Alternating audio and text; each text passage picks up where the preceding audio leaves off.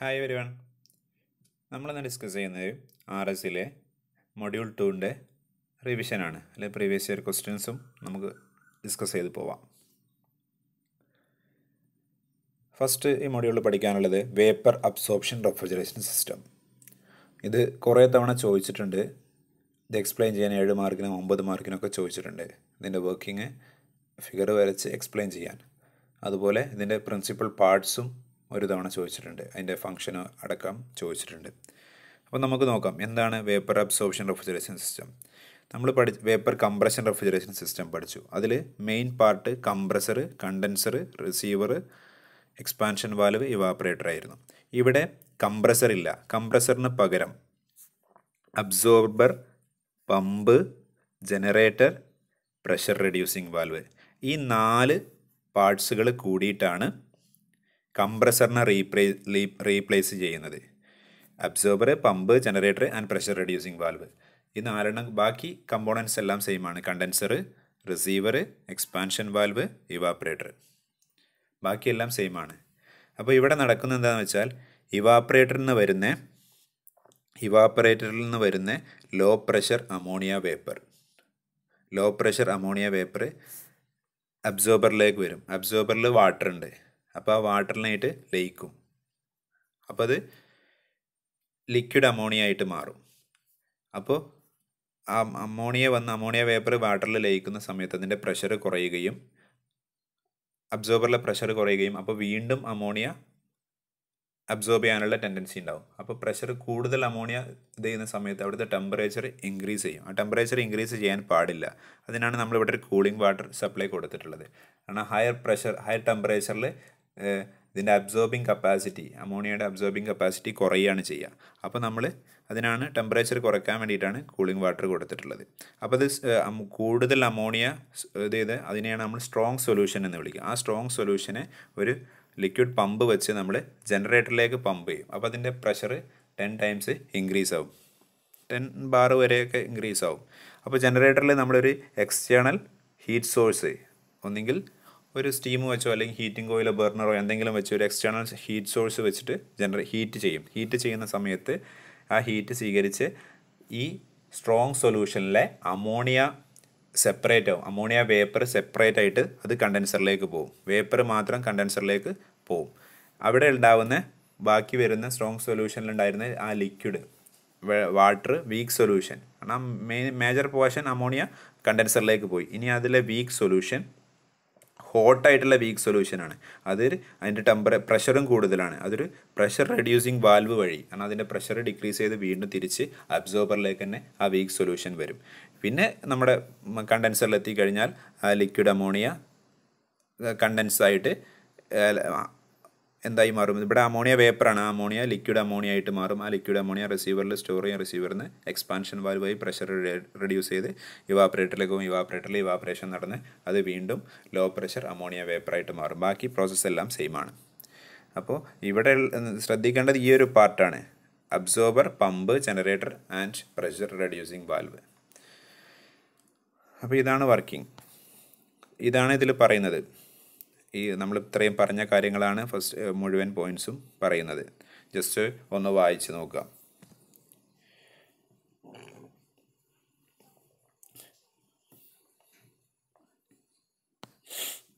ഇനി advantages of vapour absorption system over vapour compression system എന്തൊക്കെയാണ് advantage ഇതും ചോദിച്ചിട്ടുണ്ട് കമ്പയർ ചെയ്യാൻ ചോദിച്ചിട്ടുണ്ട് vapour compression refrigeration system vapour absorption refrigeration system ഏഴ് മാർക്കിനും എട്ട് മാർക്കിനായിട്ട് രണ്ട് തവണ ചോദിച്ച ക്വസ്റ്റ്യൻസ് ആണ്. അപ്പോൾ എന്താണ്? കംപ്രസറിൽ കംപ്രസർ ഇല്ല അബ്സോർപ്ഷൻ സിസ്റ്റത്തിൽ അപ്പോൾ മൂവിങ് പാർട്സ് മിനിമാണ് വിയർ ആൻഡ് ഇയർ കുറയും. The system is quiet in operation maintenance കുറവായിരിക്കും. എന്നാൽ മെയിന്റനൻസ് കുറവാനുള്ള കാരണം മൂവിങ് പാർട്സ് കംപ്രസർ ഇല്ല എന്നുള്ളത് തന്നെയാണ്. ആകെ പമ്പ് മാത്രമാണ് ഒരു ചെറിയ മൂവിങ് പാർട്ടായിട്ടുള്ളത് അബ്സോർപ്ഷൻ സിസ്റ്റം എന്ത് യൂസ് വേസ്റ്റ് എനർജി വെച്ചിട്ട് അല്ലെങ്കിൽ സോളാർ എനർജി വെച്ചിട്ടൊക്കെ നമുക്ക് ഇത് ചെയ്യാം. അപ്പോൾ ഇലക്ട്രിസിറ്റി കോസ്റ്റ്ലി ആയ സ്ഥലങ്ങളിൽ അല്ലെങ്കിൽ ഇലക്ട്രിസിറ്റി അവൈലബിൾ ആയ റിമോട്ട് ഏരിയകളിലൊക്കെ ഈ വേപ്പർ അബ്സോർപ്ഷൻ സിസ്റ്റം യൂസ് ചെയ്യാം. പിന്നെ ഇവാപ്പറേറ്ററിൽ നിന്ന് ലിക്വിഡ് വേപ്പർ വരികയാണെന്നുണ്ടെങ്കിൽ ഇവാപ്പറേറ്ററിന്റെ എക്സിറ്റിൽ നിന്ന് ലിക്വിഡ് കണ്ടന്റ് വരികയാണെന്നുണ്ടെങ്കിൽ അത് അത് റെഫ്രിജറേറ്റിംഗ് എഫക്റ്റിനെ ഇത് ചെയ്യുന്നില്ല. നമ്മളെ കംപ്രസറിൽ കംപ്രസറിലേക്ക് ഒരിക്കലും ലിക്വിഡ് എമൗണ്ട് കയറാൻ പാടില്ല. ഓൺലി വേപ്പർ മാത്രമേ കയറാൻ പാടുള്ളൂ എന്ന് പഠിച്ചിട്ടുണ്ടായിരുന്നു. ഇവിടെ അങ്ങനത്തെ പ്രശ്നങ്ങളൊന്നുമില്ല. പിന്നെ ലീക്കേജിനുള്ള ചാൻസ് കുറവാണ്. ലോഡ് വേരിയേഷനെ എഫക്റ്റ് ചെയ്യില്ല. അതിന്റെ പെർഫോമൻസ് എഫക്റ്റ് ചെയ്യില്ല. പിന്നെ ഹൺഡ്രഡ് എബോളിലെ ഹൺഡ്രഡ് അല്ല തൗസൻഡ് എബോ ടൺസ് എബോളിലെ ഇതൊക്കെ ഇതിന്റെ കപ്പാസിറ്റി നമുക്ക് ഇത് ചെയ്യാം. കാരണം കംപ്രസർ ഇല്ലാത്തതുകൊണ്ട് തന്നെ. ഇനി നമ്മളിപ്പോൾ പഠിച്ച വേപ്പർ അബ്സോർഷൻ റെഫ്രിജറേഷൻ സിസ്റ്റത്തിൽ പമ്പ് ഉണ്ടായിരുന്നു. ആ പമ്പിനെയും റീപ്ലേസ് ചെയ്യാൻ വേണ്ടിയിട്ട് യൂസ് ചെയ്യുന്ന ഒരു അതിൽ ചെറിയൊരു മോഡിഫിക്കേഷൻ വരുത്തിയതാണ് ഇലക്ട്രോലക്സ് റെഫ്രിജറേഷൻ സിസ്റ്റം ഇവിടെ മൂന്ന് ഫ്ലൂയിഡ് യൂസ് ചെയ്യുന്നുണ്ട്. ഒന്ന് അമോണിയ രണ്ട് ഹൈഡ്രജൻ മൂന്ന് വാട്ടർ. അപ്പോൾ ഇതിനെ ത്രീ ഫ്ലൂയിഡ് അബ്സോർപ്ഷൻ സിസ്റ്റം എന്നും പറയും. ഒരു പേരുണ്ട്. അപ്പോൾ ഇവിടെ പമ്പില്ല ആ അബ്സോർബ് ശ്രദ്ധിക്കുക ഇവിടെ അബ്സോർബർ ഉണ്ട്. ഇതാണ് അബ്സോർബർ പിന്നെ ഒരു ഹീറ്റ് അബ്സോർബറിൽ നിന്ന് വരുന്ന സ്ട്രോങ് സൊല്യൂഷൻ നമ്മൾ നേരത്തെ കണ്ട സ്ട്രോങ് സൊല്യൂഷൻ ഒരു ഹീറ്റ് എക്സ്ചേഞ്ചർ വഴി ആണ് ജനറേറ്ററിലേക്ക് പോകുന്നത്. ആ ജനറേ ഇതാണ് ജനറേറ്റർ ജനറേറ്ററിൽ ഒരു ഗ്യാസ് ബർണർ വെച്ചിട്ട് എക്സ്റ്റേണലി ഹീറ്റ് സോഴ്സ് കൊടുക്കുന്നത്. അപ്പോൾ ഹീറ്റ് സോഴ്സ് കൊടുക്കുമ്പോൾ ഈ ഇവിടെയുള്ള സ്ട്രോങ് സൊല്യൂഷനിലെ അമോണിയ അമോണിയ വേപ്പറായിട്ട് ഒരു റെക്ടിഫയറിലൂടെ റെക്ടിഫയറിലൂടെ പാസ് ചെയ്യുന്ന എന്തിനാണെന്ന് വെച്ചാൽ അതിനകത്തുള്ള വേപ്പർ കണ്ടന്റ് റിമൂവ് ചെയ്യാൻ വേണ്ടിയിട്ടാണ്. മോയ്സ്ചർ കണ്ടന്റ് റിമൂവ് ചെയ്യാൻ വേണ്ടിയിട്ടാണ് ഒരു റെക്ടിഫയർ വെച്ചിട്ടുള്ളത്. അപ്പോൾ ഓൺലി അമോണിയ വേപ്പർ മാത്രമായിട്ടാണ് കണ്ടൻസറിലേക്ക് പോകുന്നത്. അമോണിയ വേപ്പർ പോയിട്ട് അമോണിയ ലിക്വിഡ് അമോണിയ ആയിട്ട് മാറും. ഇനി ആ സമയത്ത് ജനറേറ്ററിന് അമോണിയ സെപ്പറേറ്റ് ആയി കഴിഞ്ഞാൽ വീക്ക് സൊല്യൂഷൻ ബാക്കിയുണ്ട്. ഹോട്ടായിട്ടുള്ള വീക്ക് സൊല്യൂഷൻ ബാക്കിയുണ്ട്. ആ വീക്ക് സൊല്യൂഷൻ ഒരു ഹീറ്റ് എക്സ്ചേഞ്ചറിലൂടെ തിരിച്ച് അബ്സോർബറിലേക്ക് ആളാണ് ഇവിടെ ഈ ഹീറ്റ് എക്സ്ചേഞ്ചർ വെച്ചതിന്റെ ഉദ്ദേശം ഈ വീക്ക് സൊല്യൂഷൻ ഹോട്ടാണ് ആ ഹോട്ടായ അതിന്റെ ഹീറ്റ് നമുക്കിവിടെ എന്തായാലും ഈ ഒരു സ്ട്രോങ് സൊല്യൂഷനെ ഹീറ്റ് ചെയ്യണം. അപ്പോൾ അതിന് ഇതിലുള്ള ഹീറ്റ് ഇതിലേക്ക് ട്രാൻസ്ഫർ ചെയ്യാൻ വേണ്ടിയിട്ടാണ് ഇത് കൂളാവും വേണം. വീക്ക് സൊല്യൂഷൻ കൂളായിട്ടാണ് അബ്സോർബറിലേക്ക് പോകേണ്ടത്. സ്ട്രോങ് സൊല്യൂഷൻ ചൂ ഓൾറെഡി നമുക്ക് ചൂടാക്കാനുള്ളതാണ്. അപ്പോൾ അതിന് ഓൾറെഡി നമുക്ക് ഈ ഹീറ്റ് എക്സ്ചേഞ്ചർ വഴി ഒരു ഹീറ്റ് ട്രാൻസ്ഫർ നടക്കാം നടത്താം. അങ്ങനെ ഈ കണ്ടൻസറിൽ നിന്ന് ലിക്വിഡ് അമോണിയ ഇവിടെ എത്തി. കണ്ടൻസ് ലിക്വിഡ് അമോണിയ ഇവാപ്പറേറ്ററിലേക്ക് കയറും. ഇവാപ്പറേറ്ററിൽ ഇവാപ്പറേറ്ററിൽ ഹൈഡ്രജൻ ഉണ്ട്. അപ്പോൾ ആ ഹൈഡ്രജനും ഇവാപ്പറേറ്ററും കൂടെ ലിക്വിഡ് അമോണിയയും ഹൈഡ്രജനും കൂടെ ഇങ്ങോട്ട് വരും. കാരണം ഇവിടെ ഇവാപ്പറേഷൻ നടന്നിട്ട് ഇങ്ങോട്ട് വരും. അബ്സോർബറിലേക്ക് വരും. അബ്സോർബറിൽ നിന്ന് അവിടെ വാട്ടർ ഉണ്ട്. ഒരിക്കലും ഹൈഡ്രജൻ വാട്ടറിൽ അബ്സോർബ് ആവില്ല. അപ്പോൾ ആ ഹൈഡ്രജൻ ഇവോൾവ് ആയി തിരിച്ച് അത് ഇവാപ്പറേറ്ററിലേക്ക് തന്നെ പോകും. അപ്പോൾ ഹൈഡ്രജൻ ആകെ പാസ് ചെയ്യുന്നത് ഈ ഇവാപ്പറേറ്റർ അബ്സോർബർ ഇവാപ്പറേറ്റർ അബ്സോർബർ അങ്ങോട്ടും ഇങ്ങോട്ടും മാത്രമാണ് പോകുന്നുള്ളൂ. ഹൈഡ്രജൻ ഉപയോഗിക്കുന്നത് എന്തിനാണെന്ന് വെച്ചാൽ ഹൈഡ്രജൻ ലൈറ്റസ്റ്റ് ഗ്യാസ് ആണ്. ഹൈഡ്രജൻ യൂസ് ചെയ്യുന്നത് ഇവാപ്പറേഷന്റെ റേറ്റ് ഇൻക്രീസ് ചെയ്യാൻ വേണ്ടി മാത്രമാണ് ഈ ഹൈഡ്രജൻ ഈ ഒരു ലോ പ്രഷർ സൈഡിൽ മാത്രമാണ് ഹൈഡ്രജൻ ഗ്യാസ് ഇതിൽ വർക്കിംഗ് ആയിട്ട് മീഡിയ ഫ്ലോയിങ് ഗ്യാസായിട്ട് വർക്ക് ചെയ്യുന്നുള്ളൂ.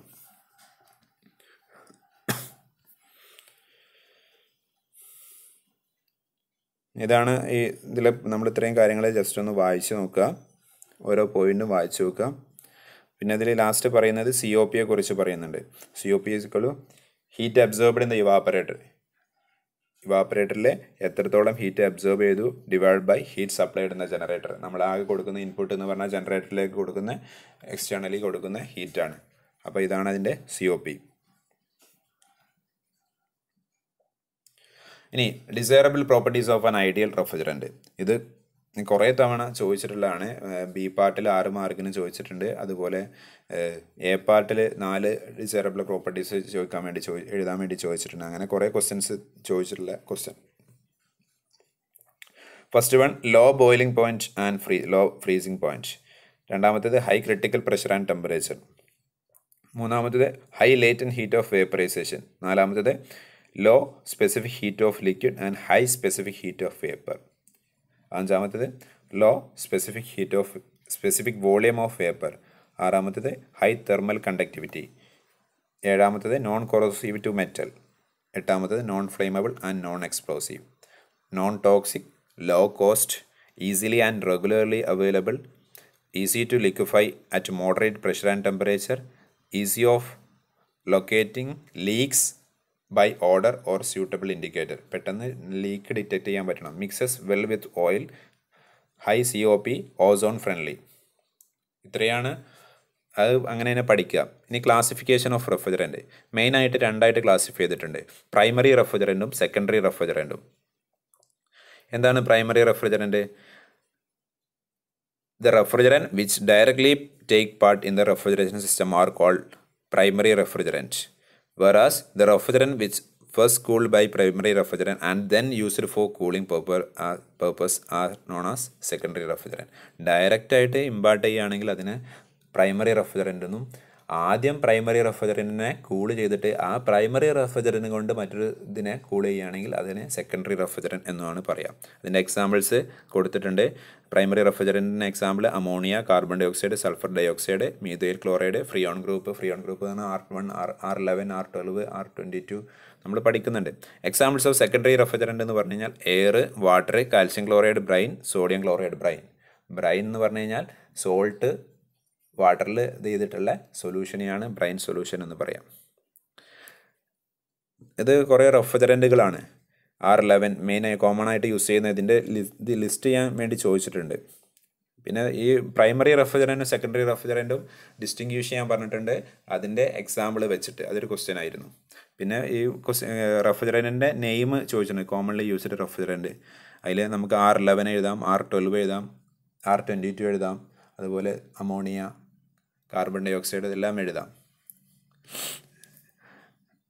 ഈ ഇങ്ങനെ ഇതിന്റെ ഓരോന്ന് ഡീറ്റെയിൽ ആയിട്ടുള്ള ക്വസ്റ്റ്യൻസ് ചോദിച്ചിട്ടില്ല. ജസ്റ്റ് ഒന്ന് വായിച്ചു നോക്കുക R eleven trichloromonofluoromethane C C L three F. It is stable non flammable and non toxic പിന്നെ അതിന്റെ ബോയിലിംഗ് പോയിന്റ് നോക്കുക. Twenty three point seven seven ആണ്.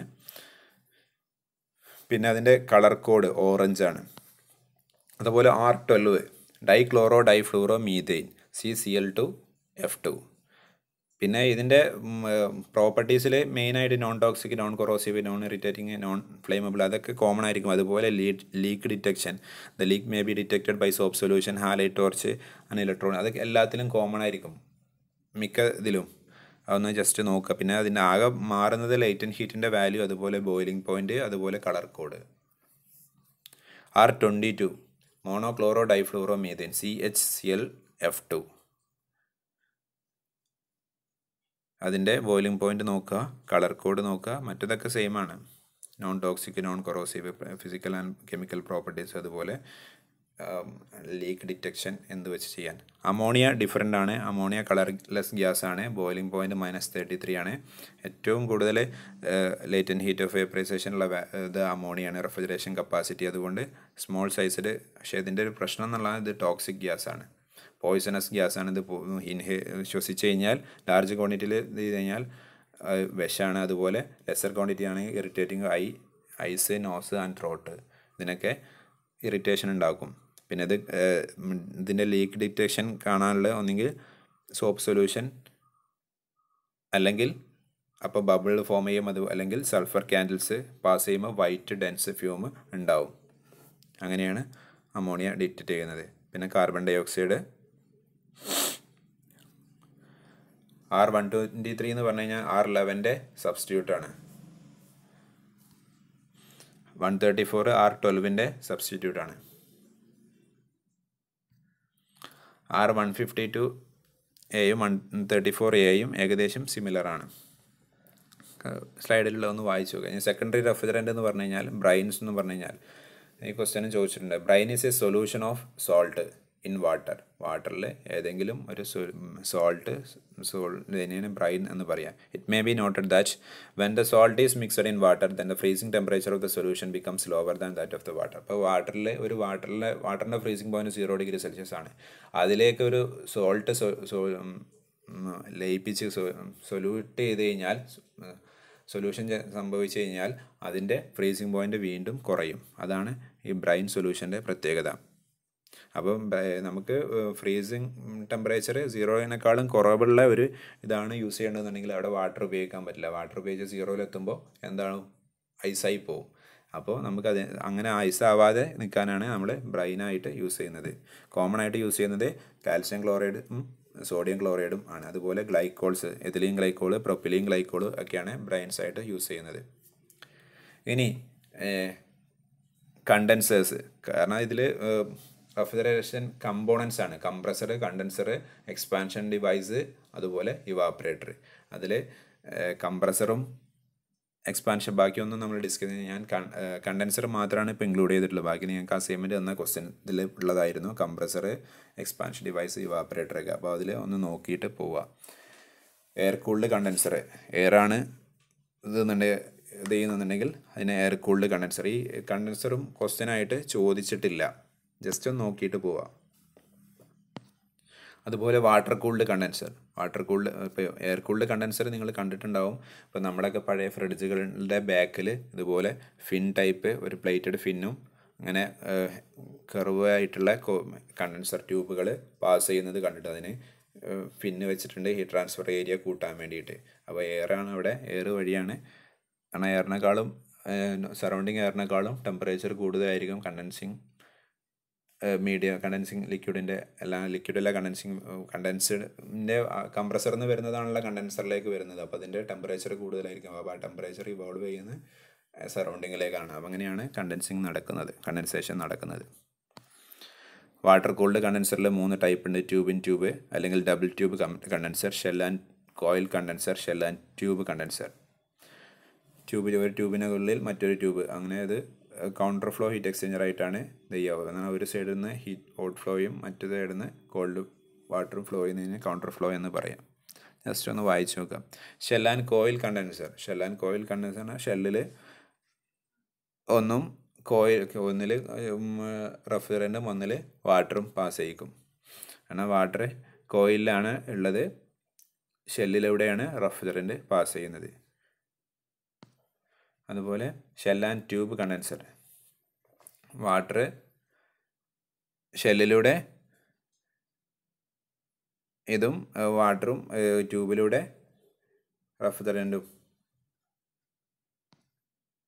വാട്ടർ കൂൾഡ് കണ്ടൻസറും എയർ കൂൾഡ് കണ്ടൻസറും തമ്മിലുള്ള ഒരു കമ്പാരിസൺ ആണ്. ജസ്റ്റ് ഒന്ന് വായിച്ചു നോക്കുക ഈ ക്വസ്റ്റ്യൻ ഇങ്ങനെ തന്നെ ചോദിച്ചിട്ടില്ല. കണ്ടൻസറിന്റെ ആദ്യം നിന്ന് ക്വസ്റ്റ്യൻസ് വന്നിട്ടില്ല മെയിനായിട്ട് കംപ്രസറും എക്സ്പാൻഷൻ വാൽവുമാണ് ക്വസ്റ്റ്യൻസ് ചോദിച്ചിട്ടുള്ളത്. ഇനി ആപ്ലിക്കേഷൻ ഓഫ് റെഫ്രിജറേഷനിൽ വരുന്നതാണ് ഡൊമസ്റ്റിക് റെഫ്രിജറേറ്റർ ഡൊമസ്റ്റിക് റെഫ്രിജറേറ്റർ ഈ ക്വസ്റ്റ്യൻ രണ്ട് തവണ ചോദിച്ചിട്ടുണ്ട്. ഇതിന്റെ ഫിഗർ വരച്ച് എക്സ്പ്ലെയിൻ ചെയ്യാൻ വേണ്ടിയിട്ട്.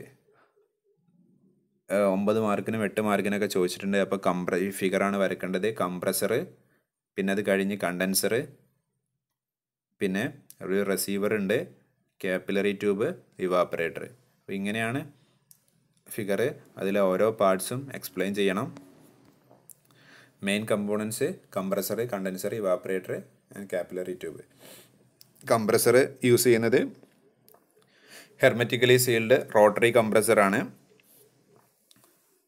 പിന്നെ ആർ ട്വൽവ് ആണ് നമ്മൾ കോമൺ ആയിട്ട് യൂസ് ചെയ്യുന്ന refrigerant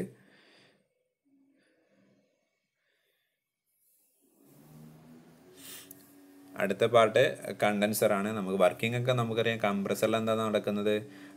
Low pressure low temperature liquid vapour refrigerant high pressure high temperature vapour refrigerant ആയിട്ട് മാറുകയാണ്. ആ വേപ്പറിനെ ലിക്വിഡാക്കി മാറ്റുകയാണ് കണ്ടൻസറിൽ ചെയ്യുന്നത്. കണ്ടൻസർ ബാക്ക് സൈഡിലാണ് ഉണ്ടാവുക. ട്യൂബ് ആൻഡ് വയർ ടൈപ്പ് ആയിരിക്കും. സറൗണ്ടിങ്ങിനേക്കാളും ടെമ്പറേച്ചർ സറൗണ്ടിങ് ടെമ്പറേച്ചറിനേക്കാളും കൂടുതലായിരിക്കും.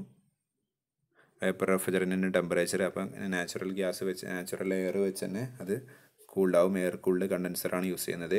The refrigerant condenses high pressure liquid and loses heat equal to its latent and heat ആണ്. അത് ലിക്വിഡായിട്ട് മാറുന്ന സമയത്ത് ഇവോൾവ് ചെയ്യുന്നത് ലോസ് ചെയ്യുന്നത് അതിന്റെ ലേറ്റൻ ഹീറ്റാണ് കാരണം ആ വേപ്പർ അതിന്റെ ലേറ്റൻ ഹീറ്റ് ലിബറേറ്റ് ചെയ്തിട്ടാണ് അത് ലിക്വിഡായിട്ട് മാറുന്നത്. ക്യാപ്പിലറി ട്യൂബ് ക്യാപ്പിലറി ട്യൂബ് പറഞ്ഞാൽ ഒരു നാരോ ട്യൂബാണ് ആ നാരോ ട്യൂബ് എന്ന് പറഞ്ഞു കഴിഞ്ഞാൽ അവിടെ എക്സ്പാൻഷൻ നടക്കും. എക്സ്പാൻഷൻ നടക്കുന്ന സമയത്ത് അതിന്റെ പ്രഷർ കുറയും അത് കറസ്പോണ്ടിങ് ആയിട്ട് ടെമ്പറേച്ചർ കുറയും. ഇങ്ങനെയാണ് ക്യാപ്പിലറി ട്യൂബിലൂടെ പ്രോസസ്സ് നടക്കുന്നത്. അതിലൊരു ഡ്രയർ ഉപയോഗിക്കുന്നുണ്ട്. ഡ്രയർ യൂസ് ചെയ്യുന്നത് അതിലുള്ള മോയ്സ്ചർ കണ്ടന്റ് റിമൂവ് ചെയ്യാൻ വേണ്ടിയിട്ടാണ്. ഇവാപ്പറേറ്റർ എന്ന് പറഞ്ഞു കഴിഞ്ഞാൽ നമുക്കറിയാം നമ്മളെ ഫ്രീസർ നമ്മളെ ടോപ്പ് പോർഷനിൽ ഇത് ചെയ്തിട്ടുള്ള ഫ്രീസർ ഇപ്പോൾ ബോട്ടം പോർഷനിൽ വരുന്നുണ്ട്. ഫ്രീസറിലാണ് നമ്മൾ ഇവാപ്പറേറ്റർ എന്ന് പറയുന്നത്. അപ്പോൾ അതിന്റെ ടെമ്പർ ഇവാപ്പറേറ്ററിന്റെ കോയിലിന്റെ temperature minus fifteen degree Celsius വരെ വരും. ആ സമയത്ത് ഇവാപ്പറേറ്റർ കോയിലിനകത്തുള്ള നമ്മുടെ low pressure low temperature liquid refrigerant നമ്മുടെ എവിടെയാണോ എന്താണോ ആ റെഫ്രിജറേറ്റർ സ്പേസ് എവിടെ നിന്നാണ് അവിടുന്ന് ഹീറ്റ് അബ്സോർബ് ചെയ്യും. ഹീറ്റ് അബ്സോർബ് ചെയ്യുമ്പോൾ അതിന്റെ ലേറ്റൻ ഹീറ്റ് ഓഫ് കാരണം അബ്സോർബ് ചെയ്യുന്ന ഹീറ്റ് അതിന്റെ ഫേസ് ചേഞ്ചിന് വേണ്ടി ലേറ്റൻ ഹീറ്റ് അബ്സോർബ് ചെയ്യുകയാണ്. അത് ലിക്വിഡ് ഉള്ളത് വേപ്പറായിട്ട് മാറാൻ വേണ്ടിയിട്ട് ആണ് വേപ്പറൈസേഷൻ നടക്കുന്നുണ്ട്. അതിന് വേണ്ടിയിട്ടാണ് ആ ഹീറ്റ് യൂസ് ചെയ്യുന്നത്. എന്നിട്ട് ഇത് വീണ്ടും തിരിച്ച് ഈ low pressure low temperature vapour refrigerant നമ്മുടെ കംപ്രസറിന്റെ സെക്ഷൻ ലൈനിലേക്ക് പോവുകയാണ് പിന്നെ ഇത് മറ്റൊരു ആപ്ലിക്കേഷനാണ് ഐസ് പ്ലാന്റ് ഐസ് പ്ലാന്റും ചോദിച്ച് കണ്ടിട്ടില്ല. ജസ്റ്റ് നോക്കി വെക്കുക. ഐസ് സ്കാൻ വഴി കാരണം ബാക്കിയെല്ലാം സെയിം ആണ്. കംപ്രസർ ഇവിടെ ഈ ഒരു മാറ്റം ഐസ് സ്കാൻസ് അല്ലെങ്കിൽ ഒരു കൂളിംഗ് കോയിൽ ബ്രൈൻ ടാങ്ക് അത് മാത്രമാണ് ഇതുള്ളത്. ഒരു ഗാൽവനൈസ്ഡ് സ്റ്റീൽ ഷീറ്റ് കൊണ്ടാണ് ഐസ് ക്യാൻസ് ഉണ്ടാക്കിയിട്ടുള്ളത്. അതിന് ടെമ്പറേച്ചറും കാര്യങ്ങളൊക്കെ ഉണ്ട്. പിന്നെ സ്റ്റോറേജ് ടൈപ്പ് വാട്ടർ കൂളർ നമ്മുടെ വാട്ടർ കൂളർ നമ്മുടെ കോളേജുകളും ഒക്കെ യൂസ് ചെയ്യുന്ന വാട്ടർ ടൈപ്പ് വാട്ടർ കൂളർ. ഇതും ചോദിച്ചിട്ടില്ല പക്ഷേ പ്രഷർ ടൈപ്പ് വാട്ടർ കൂളറാണ് ചോദിച്ചിട്ടുള്ളത്. ഈ ക്വസ്റ്റ്യനാണ് ചോദിച്ചിട്ടുള്ളത് പ്രഷർ ടൈപ്പ് വാട്ടർ കൂളർ. ഈ പ്രഷർ ടൈപ്പ് വാട്ടർ കൂളറിന്റെ വാട്ടർ സപ്ലൈന്റെ സ്ഥലത്ത് തന്നെ വാട്ടർ സപ്ലൈന്റെ തന്നെ അവിടുന്ന് വരുന്ന വേസ്റ്റ് വാട്ടറിനെ ഒരു പ്രീ കൂൾ ചെയ്തിട്ടാണ് പോണത്. ആ വേസ്റ്റ് വാട്ടറിനെ വാട്ടറിന്റെ പുറത്തൂടെ ചുറ്റിയിട്ടാണ് ഇങ്ങനെ കോയിൽ ചെയ്തിട്ടാണ് ഇത് സപ്ലൈ പോകുന്നത്. അപ്പോൾ തന്നെ ഒരു കൂളാണ് ആ വേസ്റ്റ് വാട്ടർ ഓൾറെഡി നല്ല തണുത്തിട്ടായിരിക്കും വരിക.